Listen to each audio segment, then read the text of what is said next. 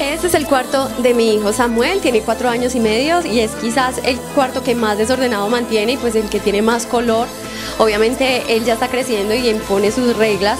Yo le tenía el cuarto decorado diferente, por ejemplo le tenía unos cuadros de animales, él los quitó, dijo que no, que quería los que él había pintado en el colegio, listo, se pusieron ahí.